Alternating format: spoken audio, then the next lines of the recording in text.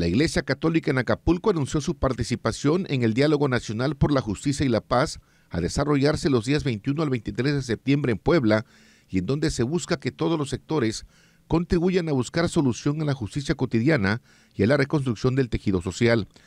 Durante su mensaje dominical, el arzobispo de Acapulco, Leopoldo González González, señaló que en la reunión del Diálogo Nacional por la Justicia y la Paz participarán todos los sectores de la sociedad buscando solución al tema de la inseguridad en México. Como lo hemos hecho cada tercer domingo de mes. También ahora pidamos al Señor por las personas que han sido y son víctimas de las violencias en nuestra patria. Nuestros hermanos ejecutados, asesinados, desaparecidos, secuestrados, extorsionados, los que han de pagar cuota o piso o se ven obligados a pagar un tributo a un grupo criminal en la compra o en la venta de algún fruto o producto. Nuestra oración por todos ellos y sus familiares.